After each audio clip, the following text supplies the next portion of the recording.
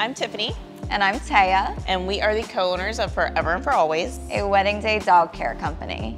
We help couples on the day of their wedding if they would like their cute little pup included in anything that they have going on, from pictures to ceremony, transportation to and from the venue, back home. We just help make it super easy and stress-free for the dog to be a part of the big day.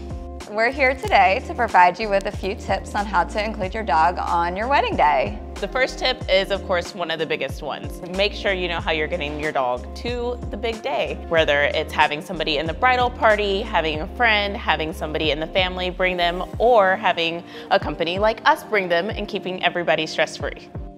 Tip number two is deciding on who will be walking your dog down the aisle. We recommend having someone who's up to the task, someone in the bridal party, someone who has experience in handling a dog. We don't recommend usually like a three-year-old walking a Great Dane down the aisle. Sometimes there's unique ways in bringing them down the aisle, such as a wagon or a motorized car, but that is only good if your pup is gonna stay seated and has practice with that.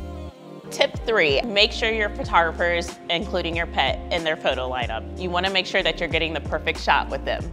So a pro tip have lots and lots of treats. Oh, they do work wonders for the pups to get those perfect shots and they keep them full, occupied, and entertained for the entire day. Also make sure that you have plenty of water on hand, especially if it's one of those hot summer days and they need good hydration. And then also make sure you pack like a food, water bowl, leash, wedding attire. Make sure that you have everything ready to go before the big day. Speaking of attire, think about what your dog's gonna wear. There's so many options. You can have a floral collar, a greenery collar. You can have a really cute bandana, ones that have sayings on them, ones that are plain and go with the colors that you're wearing.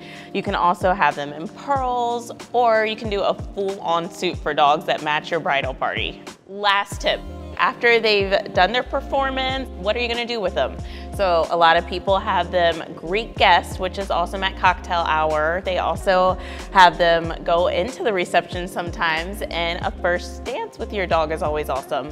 And then after you're done with that, you have them taken home normally to be taken care of for the night of the wedding. And that can be, again, provided by our services or you have, you know, maybe friends, family go back afterwards to help take care of them.